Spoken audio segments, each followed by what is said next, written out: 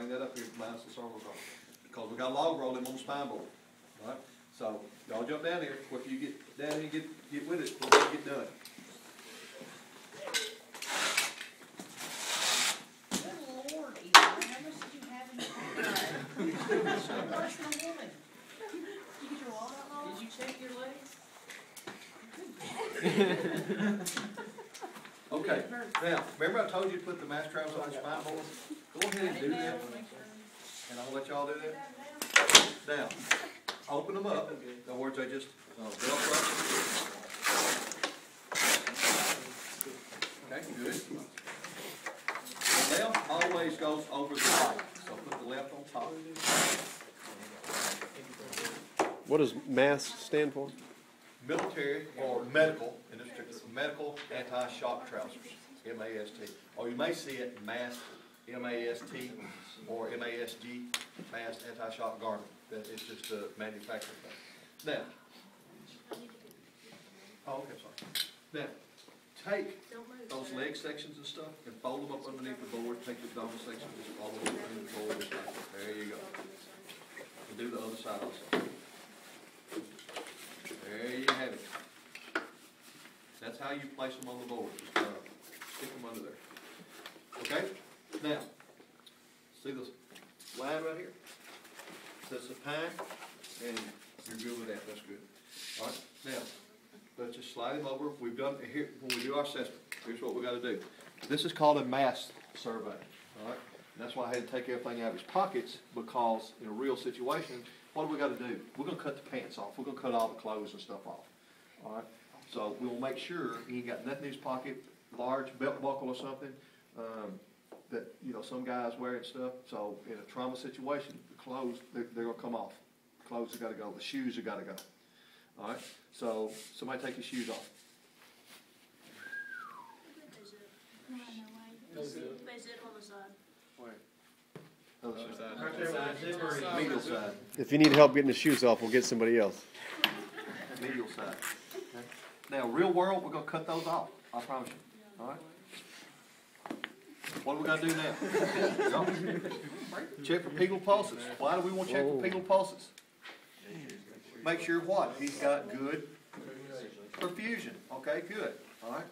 So, we we put got good back pulse and stuff here. I've done my mass survey, nothing in the pockets, but reality, I've cut the pants off. Does that make sense? All the clothes. Trauma victims always gonna be naked, because if you can't see it, you can't treat it. So they, they gotta be, uh, clothes completely cut off, all right? So, got all that stuff done, nothing in the pockets, whatever, the clothes are gone, good pedal pulses, good distal pulses, good movement, but he's unconscious, all right? So, we're gonna get ready to log roll and put him on the spine so, y'all deal with that.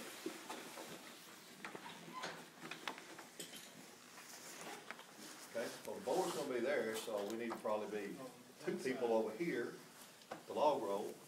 Remember to cross your hands, kind of get a big purchase point there.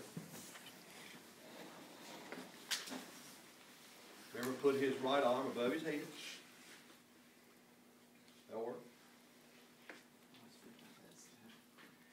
Oh, that's me, just kidding. Roll on three. One, two, three. Very good. Spinal cord on three. One, okay. Okay. Okay, now seesaw him down and get him over in the right Oh, position. oh, okay? don't move, Tony. Move on three. One, two, three. Somebody's gotta hold the board. Put your knees in front. Okay, we good? Okay, one, two, three. That's one, two, three. Okay, very good. Now, somebody go down to the foot of the spine board. And just lift it up, Oh, sorry about that. just slightly. Okay, now just start putting them in place. The left side goes on place.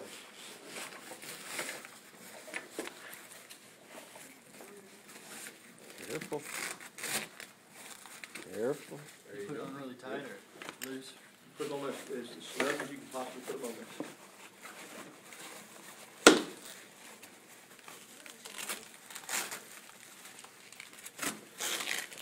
Now, can you use these for pregnant women? Yes, you can, leg sections only. Okay, now, we're good with spine board. I mean, that's, I'm just showing you how to put them on the spine board. Y'all know how, what the rest of the stuff do with the spine board and that sort of thing, right? We're good with that? All right, so they're on the spine board, so you're good to go. Now, let's hook up the, um, pump. There's, uh, one hose that goes to each, uh, that will go, those two go to the legs. This one goes to the, uh, abdominal cavity, and it should be on this side over here.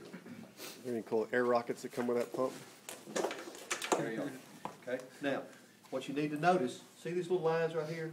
These little stop cocks means that air is good to go. In line. Yes, in line. When you turn them, that cuts them off. All right? So, let's say he's got a blood pressure of, let's say ninety systolic. All right, so we got our hoses hooked up.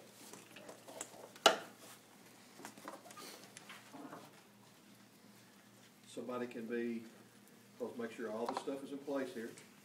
Somebody can be taking blood pressure, either or. Somebody? Let's take his blood pressure. You just lay it there beside him, that's fine. Don't tell him what that's mean.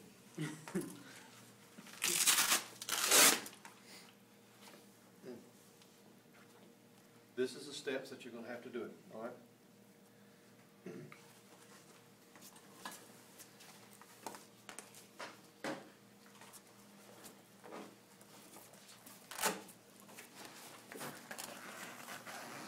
Okay, we'll take his blood pressure, and let's say it's ninety systolic. What's the first thing we're gonna do? What's the first thing we're gonna do? Raise his legs. Do what? Raise his legs. What's that called? Trinellenberg. Trendelenburg, so we're gonna raise his leg. Uh, Here with Kevin. Use his boots. Just lay him sideways, lay him down, and, uh, yeah, Treating the whole board. a Trump There you go. patient. Now, these mass trials used to come in a, we got one back there, a hard box, and it worked great for doing this right here. Okay, so we've raised his legs eight to ten inches, that's close, all right? So what we're gonna do now? Check his blood pressure. Why? Because you raised his legs. You just Yeah, changed it. we will see, we've just changed something, so we will check his blood pressure again. So let's say it's, uh, still the same, ninety systolic. We've got oxygen going, we've got a suction, we've got everything going, all right? Now, Lower extremity. we're not going to pump these up for the simple fact that we will increase his blood pressure, all right? But we'll simulate it, all right? So, uh, by the foot pump down there, cut off the abdominal section.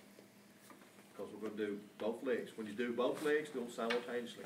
If you have fractures, painful swollen mid-shaft deformities, we got shock, this is a great tool to use because it's splitting your fractures, it's cutting off the bleeding, and it's also controlling the shock. So these are a great device, uh, to use. So the only thing we've gotta do now is, um, pump up the foot pump. So pump it a couple times. You'll see air starting to get in there, and that's good. All right, now, we pump it up until the blood pressure reaches hundred systolic, or the Velcro starts to crackle. Ooh. All right, so we pump them up till blood pressure reaches hundred systolic, or the Velcro starts to crackle. We pump up the leg sections. What we wanna do now? Check the check pressure. Check the blood pressure. Let's say it's still ninety systolic.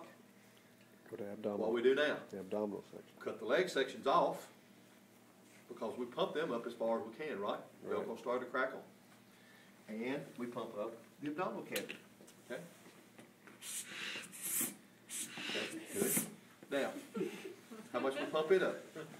It's the same deal. Till the Velcro starts to crackle or the blood pressure comes up, okay?